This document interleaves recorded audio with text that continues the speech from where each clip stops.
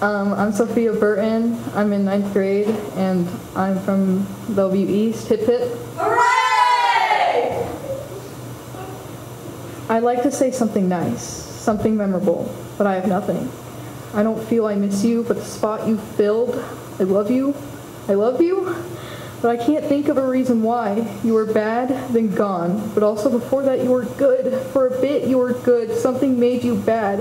Like losing your mother in the exact same way I lost you. It's a cycle you couldn't stop, a cycle of stories. I wish I could have known who you are without being told of stories to fill in the blanks of who you of who you are. You are a story, a story that left me without a motherly figure, but a story all the same. I've never filled the spot, the hole you left. You a story. I would have liked to, for you to be a whole person in my life, even though you were, you sound mean, cold, and strict. If you, if you didn't leave, I would have known the feeling of having nurture and warmth that comes from having a mother that stays.